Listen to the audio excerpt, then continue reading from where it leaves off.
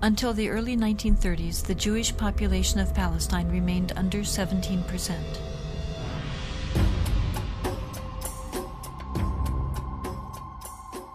Hitler's rise to power in Germany completely changed that. In just five years, 174,000 Jews flooded into Palestine, doubling their population.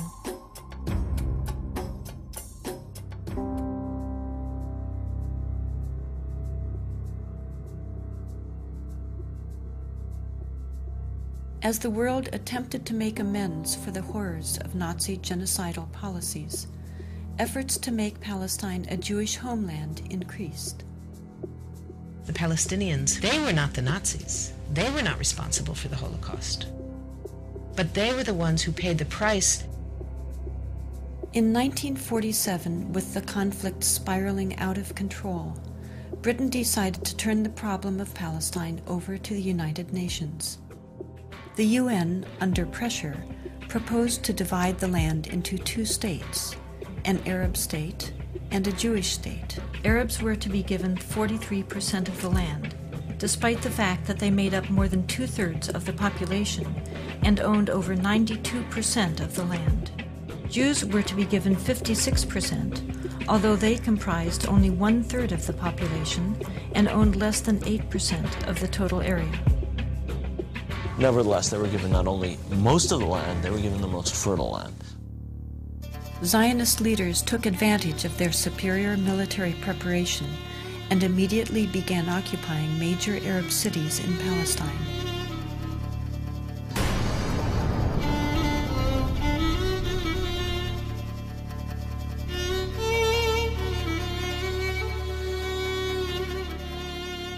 I was among the people that conquered Akov.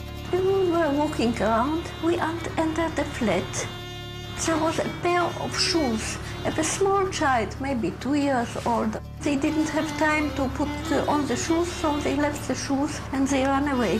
They left everything.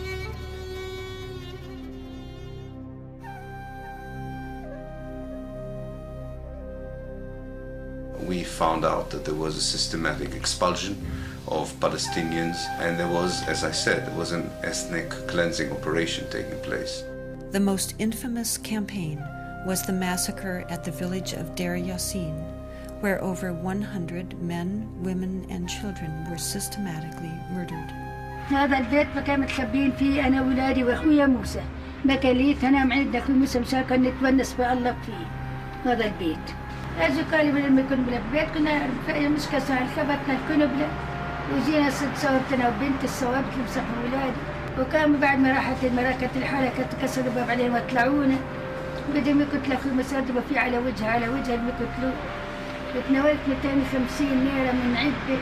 وقلت لي خواجه بس مش أنا هالطالب بدها ست قلت لسه قال لي كثير انت كويس. هات المصاري بارس في كوتش الحنو سوى تسويش فيها كوتش الحنو أعجبك لغيره زدتك على السلف فاكحه وذلك يعود حتى يطلع السير ويكون سفينة مسك الدم. لك خمسة آلاف مليون تحت السفر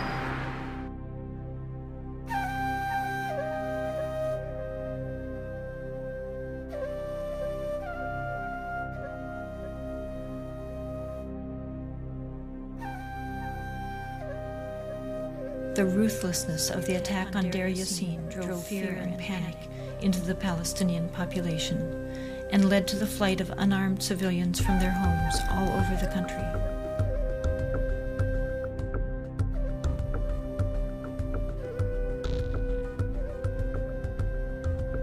As a result, maybe 300 or so thousand Palestinians had already been expelled before the first Arab soldier entered Palestine.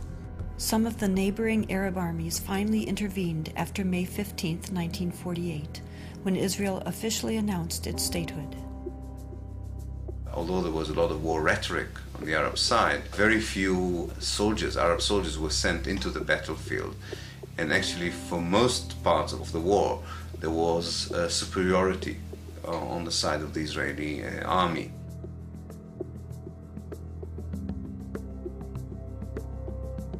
The Israeli army cleansed much of the territory and took over a large part of the designated Palestinian state. The new state of Israel encompassed 78% of the total land of Palestine. The West Bank came under Jordanian control and the Gaza Strip under Egyptian dominion. Although a truce was declared between Israel and the Arab states, true peace remained elusive, as over 700,000 Palestinian refugees languished in nearby camps, often in sight of homes to which they still held the deeds and a deep desire to return. Most of the deserted and evicted Palestinian uh, villages were erased from upon the earth and were either turned into Jewish settlements or into fertile uh, land.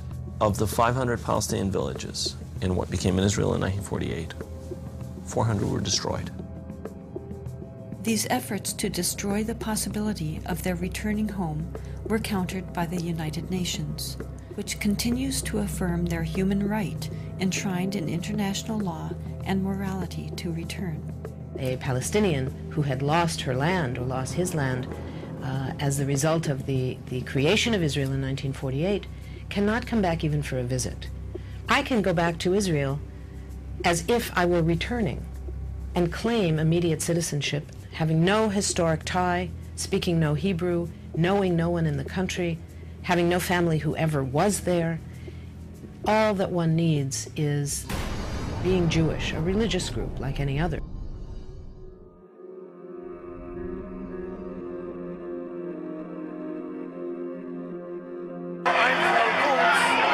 I'm a witness. I know the Arabs, the Arabs very good. No problem till the Zionist movement start.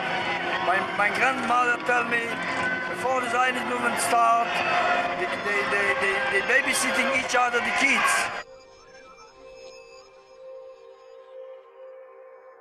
They bar offen watch each other li- like brothers, like, like, like brothers, like brothers.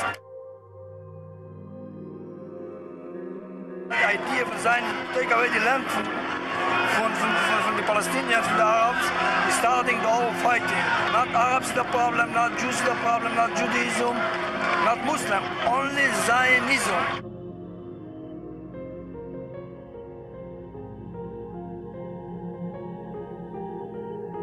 The events of 1948 were a defining moment for the Middle East, and from that point onward created instability throughout the region. Violent tensions continued and led to another war in 1967.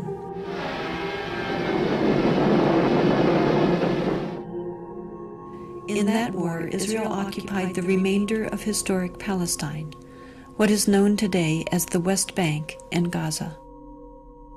Another myth was that Israel was about to be pushed into the sea, but I was working in the State Department at that time.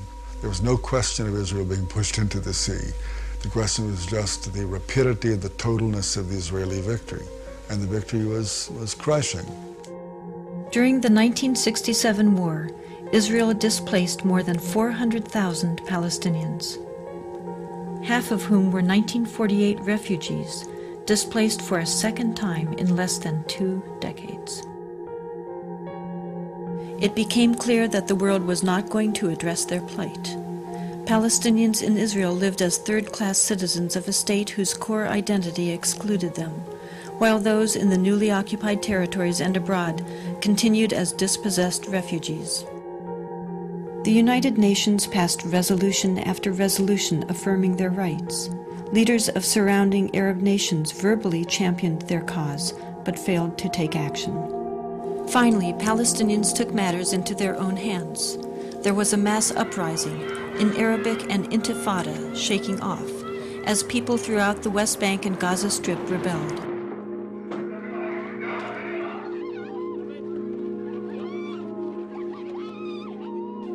The Israeli government adopted a strategy, in the words of Defense Minister Itzhak Rabin, of might, power, and beatings, which became known as the break the bone strategy.